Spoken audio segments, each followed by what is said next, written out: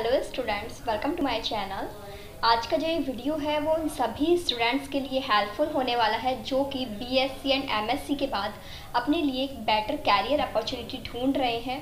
Specially मैं बात करूँ तो बायो स्टूडेंट्स के लिए वीडियो है, क्योंकि आज की हमारी वीडियो का टॉपिक होने वाला है career opportunity in clinical research industry mostly students को इस इंडस्ट्री की नॉलेज कम होती है, उन्हें ये पता ही नहीं होता कि ये भी उनके पास एक ऑप्शन है after there B S C and M S C तो ये जो इंडस्ट्री है क्लिनिकल रिसर्च इंडस्ट्री इसके अंदर B S C and M S C करने के बाद आपके पास कौन कौन से कोर्सेज हैं जिन्हें आप कर सकते हैं?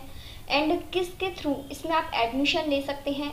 इसमें आपको कौन कौन सी जॉब प्रोफाइल्स देखने को मिलती हैं? तो इन्हीं सब क्वेश्चंस को डिस्क्राइब करने के लिए today we have a special guest on our channel from Canvas clinical research institute now before starting the discussion ma'am अपने बारे में आप सभी को एक छोटा सा इंट्रोडक्शन देंगी। Hello all, my name is Vijay Bhakte and I'm a founder and director of Canvas Clinical Research Services Private Limited. It's a site management organization along with uh, Training Institute of Clinical Research. So I have a 17 years of experience uh, in this industry. Almost मैंने uh, सारे indication पे clinical trials की है and I am expertise in clinical trial management domain Okay, thank you so much ma'am for giving your intro. Now let's start today's session with some questions so that student will understand brief knowledge about clinical research industry.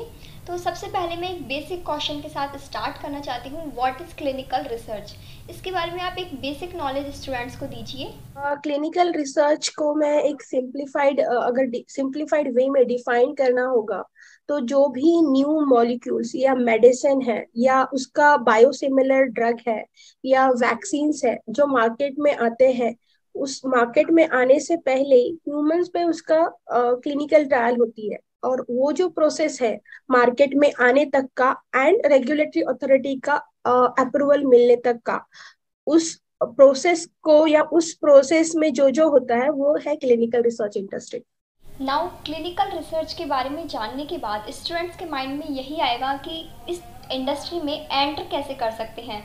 Like like इसमें basic requirement क्या रहेगी? कितनी knowledge होनी चाहिए? And यदि students इस industry में जाने के लिए इंटरेस्टेड हैं तो किस तरह वो अपने लिए एक बेटर कोर्स चूज़ कर सकते हैं? After B S C and M S C clinical research industry में आने का जो रिक्वायरमेंट है, वो मैं बताऊँगी एंड अकॉर्डिंगली दैट जो स्टूडेंट्स बीएससी है या एमएससी उन्होंने इसके बारे में सोचना चाहिए। तो सबसे पहले रिक्वायरमेंट बेसिक रिक्वायरमेंट ये है, आप अगर ह्यूमन बींग्स पे ट्रायल करने वाले हो तो आपको ह्यूमन सिस्टम्स और उनका फिजियोलॉजी और पैथोफिजियोलॉजी मतलब उनके सिस्टम्स के फ़ंक्शंस एंड उसके पैथोफिजियोलॉजिकल जो कंडीशंस होते हैं, वो आपको मतलब स्टूडेंट्स को पता होने चाहिए और उसमें अभी मार्केट में क्या अवेलेबल ट्रीटमेंट्स है। तो ये स्टूडेंट्स को अच्छे से पता होना चाहिए, ये ग्लोबली कनेक्टेड इंडस्ट्री है तो ऑब्वियसली कम्युनिकेशन स्किल्स में फिर वर्बल एंड रिटर्न तो उसमें फिर ईमेल एटिकेट्स आया या सोर्स राइटिंग के लिए फिर जो हम लिखते हैं, वो जो उसके लिए जो इंग्लिश का रिक्वायरमेंट है या बोलने के लिए तो वो आ गया। इसमें बहुत सारे लोग इन्वॉल्व है तो इंटरपर्सनल स्किल एंड देन इससे रिलेटेड जो स्किल्स है, वो रिक्वायर्ड है।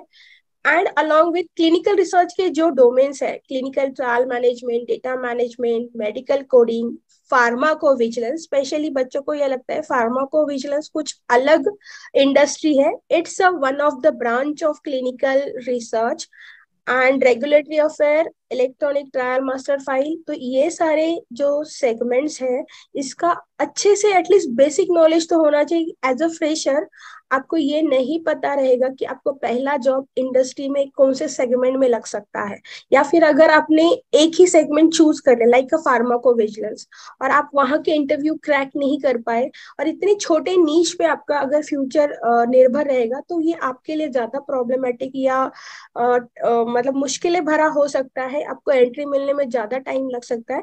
सो हम स्टूडेंट्स को यही सजेस्ट करते हैं कि आप एक बेसिक नॉलेज लेके इंडस्ट्री में एंट्री करो एंड देन ये सारे जो भी डोमेन है, ये एक दूसरे के साथ इंटरलिंग है। आप इसके मतलब कोई भी डोमेन के डोमेन में स्विच कर सकते हैं। तो बेसिक क्राइटेरिया यही होना चाहिए, आपका कोर्स जो है, वो ऐसा हो, ये सारा चीज़ आप, आपसे करवाए। मतलब आपका जो भी लाइन है, उस लाइन से आपको ये सब चीज़ें आपको सिखाए। लाइक अगर आपका कम्युनिकेशन स्किल वीक है तो उसको इम्प्रोवाइज करने में हेल्प करे। ऑब्वियस आपको क्लिनिकल रिसर्च इंडस्ट्री का नॉलेज नहीं रहेगा तो आपको इसके बारे में बताए। आपको जो अदर जो लाइक प्रेजेंटेशन स्किल है ग्रुप डिस्कशन है, या अदर जो रिक्वायर्ड स्किल्स है, जो इस इंडस्ट्री में लगने वाले फ्यूचर जब आप जॉब करो जॉब करोगे, उसके बारे में आपको जॉब रेडी करें, इस तरह से आपको कोर्स चूज़ करना चाहिए। यानी स्टूडेंट्स को ऐसा कोर्स चूज़ करना चाहिए जो उनकी वर्किंग नॉलेज के साथ साथ, उनकी स्किल डेवलपमेंट उनके ओवरऑल डेवलपमेंट पर भी फोकस करें। नाउ जो आपका ये कैनवास क्लिनिकल रिसर्च इंस्टीट्यूट है इसमें भी स्टूडेंट्स के लिए काफ़ी सारे कोर्सेज अवेलेबल हैं। तो बीएससी एंड एमएससी के बाद यदि मैं कोर्सेज की बात करूँ तो बीएससी एंड एमएससी के बाद आपके पास कौन कौन से कोर्स अवेलेबल हैं? अभी जब बीएससी के स्टूडेंट्स का एज अराउंड इक्कीस बाईस एज मतलब ये रहेगा जब वो बीएससी का मतलब उनका बैचलर कंप्लीट करते हैं। तो उन्होंने मेरे ख्याल से एमएससी इन क्लिनिकल रिसर्च ये कोर्स करना चाहिए पर ध्यान रखना चाहिए कि उनके एमएससी के सब्जेक्ट क्या है। अगर आ, मतलब स्टार्टिंग में ही उनको क्लिनिकल रिसर्च पढ़ाया जा रहा है या जैसे एनाटॉमी पैथोफिजियोलॉजी और फार्माकोलॉजी ये सब्जेक्ट नहीं है या स्किल ड्रिवन वो कोर्स नहीं है तो वो एमएससी करके उनके लिए फ़ायदा नहीं रहेगा। आप ये ध्यान में रखो, ये टेक्निकल कोर्सेस है और ये आपको जॉब के लिए रेडी कर रहे हैं। लाइक फ्यूचर आपको जो भी जॉब करना है क्लिनिकल रिसर्च इंडस्ट्री में, उसके लिए रेडी कर कर रहे हैं। तो एमएससी इन क्लिनिकल रिसर्च ये दो साल का कोर्स बीएससी वालों के लिए करना चाहिए। And advance diploma in clinical research ये एमएससी के लिए रहेगा। इसमें सिक्स मंथ थेरोटिकल सारा चीज़ रहेगी एमएससी स्टूडेंट्स के लिए। एंड सिक्स मंथ जो रहेगा, वो इंटर्नशिप रहेंगी। अभी आपने जिन ये दो कोर्सेज के बारे में बताया कि ये ऑनलाइन ऑफलाइन दोनों मोड में अवेलेबल है, क्योंकि जैसा कि कोविड नाइन्टीन के बाद ऑनलाइन एजुकेशन में काफ़ी बूम आया है तो स्टूडेंट्स के लिए आपके इंस्टीट्यूट में जो ये कोर्सेज अवेलेबल हैं, उनमें से कौन सा ऑप्शन बेस्ट रहेगा ऑनलाइन या फिर ऑफलाइन ऑनलाइन या ऑफलाइन ऐसा कहीं कोई इंडस्ट्री का रिक्वायरमेंट नहीं है बट मैं स्टूडेंट्स को एडवाइस ये करना चाहूँगी कि जिससे उनका इन्वॉल्वमेंट अच्छा रहे वो ज़्यादा अच्छा है। अगर जैसे कुछ स्टूडेंट्स रिमोट एरियाज़ में रहते हैं तो उनको ऑफलाइन कोर्सेज करना पॉसिबल नहीं रहेगा क्योंकि हमारे ऑफलाइन कोर्सेज नागपुर में होते हैं। तो वो लोग हमारा ऑनलाइन कोर्स ज्वाइन कर सकते हैं और जो लोग जैसे अफोर्ड नहीं कर सकते ऑफलाइन आके उतना एक्सपेंडिचर करना क्योंकि ऑफलाइन कोर्सेज का वो एक ड्रॉबैक रहेगा कि फ़ीस के साथ उनको अदर जो एक्सपेंडिचर्स है रहने के लिए एंड अकोमोडेशन मतलब फ़ूड के लिए जो लगेगा वो भी देना रहेगा। तो अगर वो उनको नहीं करना है तो वो ऑनलाइन कर सक, आ, कर सकते हैं कोर्स आ, इसमें ऐसा है कि ऑनलाइन एंड ऑफलाइन कोई हाँ, हमारे इंस्टीट्यूट में फ़र्क नहीं है। Online and offline same syllabus same faculties रहती है। ये स्टूडेंट के ऊपर हम छोड़ते कि उनको ऑनलाइन या ऑफलाइन ज्वाइन करना है। बट हाँ अगर आपको ऑफलाइन ज्वाइन करना है तो आपको नागपुर में आके रहना पड़ेगा। ओके okay, तो ये तो सारी कोर्स से रिलेटेड इन्फॉर्मेशन हो गई. बट यदि मैं क्लिनिकल रिसर्च इंडस्ट्री के अंदर जॉब प्रोफाइल्स की बात करूँ लाइक कौन कौन सी जॉब अपॉर्चुनिटीज़ स्टूडेंट्स को मिलती है after B S C and M S C तो उसके बारे में आप थोड़ा सा बताइए. गुंजन मैं ये बताना चाहूँगी कि अगर क्लिनिकल रिसर्च इंडस्ट्री में B S and M S C students को एंटर करना है ये कोर्स के बाद तो उनके पास आठ से दस जॉब प्रोफाइल्स रहेंगे जहाँ पे ये एज अ फ्रेशर एंटर्ड कर सकते हैं. तो उसमें जैसे कि मैं कुछ एग्ज़ाम्पल बताना चाहूँगी clinical research coordinator clinical trial assistant ethics committee coordinator clinical data coordinator then data analyst drug safety associate eTMF specialist regulatory specialist या रेगुलेटरी एसोसिएट तो ये कुछ जॉब डेजिग्नेशन मैंने बताए हैं। और यदि इन जॉब ऑप्शंस के अंदर सैलरी का देखा जाए तो सैलरी का कितना रहेगा स्टूडेंट्स के लिए? सैलरी हम अगर as a fresher first preference देते हैं तो हम ग्रो नहीं कर पाएँगे। बट मुझे ऐसा लगता है और आपका फ़र्स्ट जॉब ये आपका लास्ट जॉब भी नहीं होता है।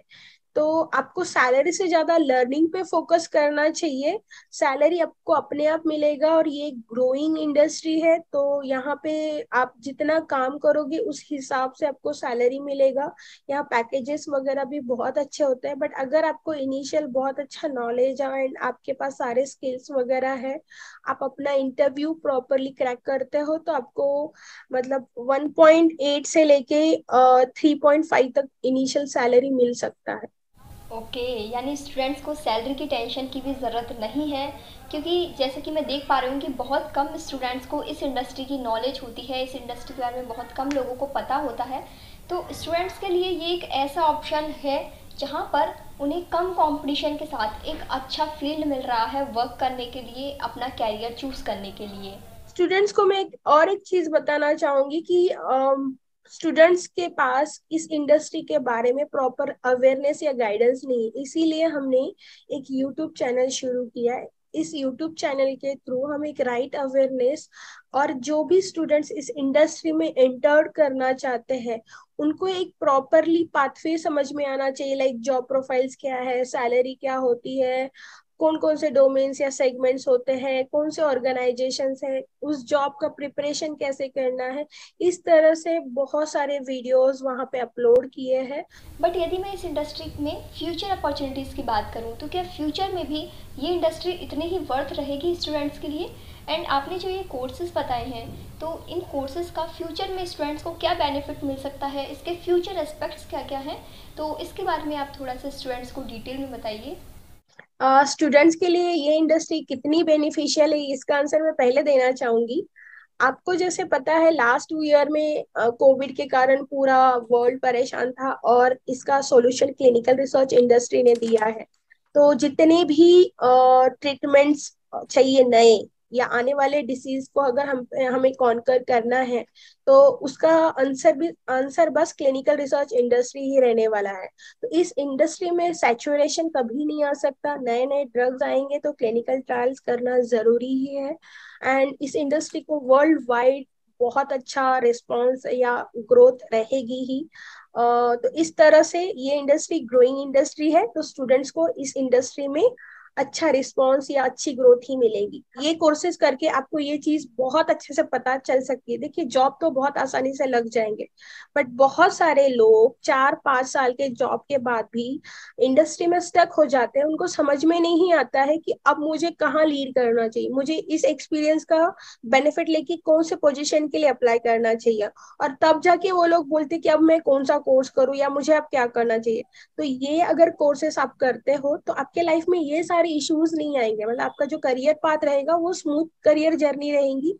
आप जहाँ पे भी पहला जर्नी शुरू करते हो, जहाँ से भी, आपको समझ में आएगा कि आप क्या काम कर रहे हो। लाइक ये सारी चीज़ों को रिलेट करना रिक्रूटर्स को मतलब कन्विंस करना या कन्वे करना, इस तरह से सीवी बनाना, ये चीज़ आपको इस कोर्स के थ्रू आराम से समझ में आएगी। तो ये इस कोर्स का ब्यूटी या इम्पोर्टेंस है, ये मैं बताऊँ, बताना चाहूँगी। Yes I am totally agree with you because Covid के बाद जो मेडिकल और क्लिनिकल रिसर्च इंडस्ट्री ने काफ़ी ग्रो करा है, वो हम सबने देखा है और स्टूडेंट्स ने भी ये चीज़ें फील की हुई है। तो इस अकॉर्डिंग ये इंडस्ट्री कभी भी डाउन तो नहीं जाने वाली, हमेशा ग्रो करने वाली इंडस्ट्री है। यदि स्टूडेंट्स इस इंडस्ट्री के अंदर क्लिनिकल रिसर्च इंडस्ट्री के अंदर अपना कैरियर देखते हैं तो ये उनके लिए काफ़ी अच्छा ऑप्शन हो सकता है। एंड आई होप इस वीडियो से स्टूडेंट्स को काफ़ी कुछ जानने को मिला होगा क्लिनिकल रिसर्च इंडस्ट्री के बारे में। नाउ जो भी स्टूडेंट्स इस वीडियो को देख रहे हैं, उन सभी के लिए एक स्पेशल ऑफ़र अवेलेबल है। मैम ने जो अभी कोर्सेज बताए, उनमें से यदि किसी भी कोर्स के अंदर आप इंटरेस्टेड हैं तो 15 अक्टूबर से पहले यदि आप उन कोर्स में इनरोल करते हैं देन आपको 10 परसेंट का डिस्काउंट मिलेगा उन कोर्सेज़ के अंदर, जो कि अभी मैम ने दो कोर्सेज़ बताए after BSc and MSc and I am definitely sure that these courses will really helpful for you but I know इस वीडियो को देखने के बाद काफ़ी स्टूडेंट्स के माइंड में क्वेश्चन अराइज हुए होंगे, जो भी अभी डिस्कशन हुआ मैम ने जो जॉब ऑप्शंस बताए और जो आपको कोर्सेज बताए उनसे रिलेटेड आपके माइंड में काफ़ी डाउट्स क्वेरीज आई होंगी। तो यदि आप उन डाउट क्वेरीज को पूछना चाहते हैं, आपकी प्रॉब्लम के आपको सोल्यूशंस चाहिए तो आप मैम को कांटेक्ट कर सकते हैं या फिर कैनवास क्लिनिकल रिसर्च इंस्टीट्यूट को कांटेक्ट कर सकते हैं। कॉन्टैक्ट डिटेल्स डिस्क्रिप्शन बॉक्स में गिवन है तो वहाँ से आप इन्हें डायरेक्ट कॉन्टैक्ट कर सकते हैं। Now thank you so much ma'am for connecting with us and students को नॉलेज देने के लिए। Thank you so much Gunjan it's a nice meeting with you thank you so much again